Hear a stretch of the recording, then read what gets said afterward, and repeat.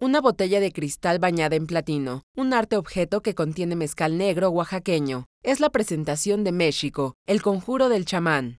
Este producto, reconocido por el Guinness World Record por tener la botella más fina, cara y exclusiva de México, es producido por el maestro mezcalier Valente Ángel García, junto con Fernando Altamirano Ruiz de Chávez, empresario y creador.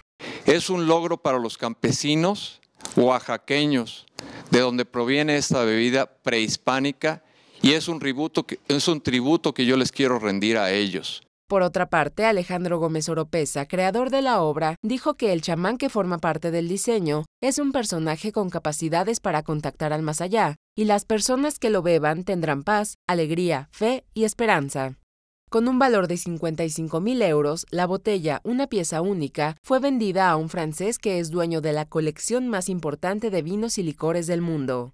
Con información de Gabriel Vaquero Rojas e imágenes de Raúl Monroy, Notimex.